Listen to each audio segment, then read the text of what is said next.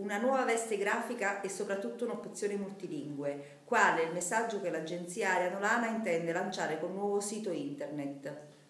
Più che un messaggio si tratta di aprire una vetrina, una vetrina sul nostro territorio, sull'area nolana a disposizione del resto del mondo, una vetrina che vuole raccontare la nostra natura, la nostra storia, la nostra tradizione, la nostra economia, con le sue eccellenze e le sue potenzialità praticamente vogliamo rappresentare, abbiamo anche scelto la lingua inglese, cinese e araba, agli altri in maniera confidenziale che questo è un territorio ricco di risorse. Vogliamo rappresentarli a quegli imprenditori interessati, a quegli imprenditori che possono trovare nella nostra area, che noi riteniamo sia il cuore del Mediterraneo, una piattaforma naturale per lo sviluppo, per la logistica delle merci in tutta Europa e ovviamente l'Agenzia di Sviluppo sta facendo la sua parte per candidarsi come territorio, come area a punto di riferimento dell'intera Europa.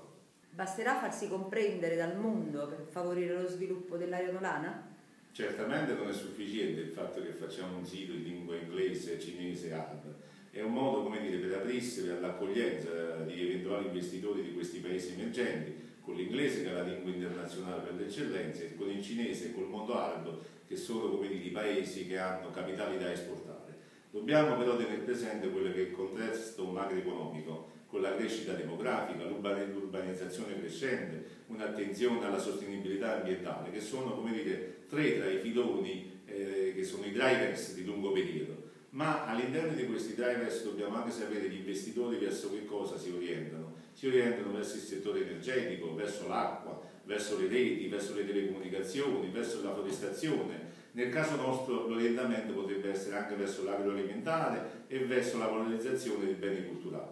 Non dimentichiamolo, questa è la terra di Giordano Bruno, qui nasce il pensiero dell'era moderna, dal pensiero nasce la responsabilità, dalla responsabilità deriva il dovere. Se tutti e ciascuno di noi facciamo il nostro dovere, lo sviluppo anche nell'area nolana è una cosa possibile.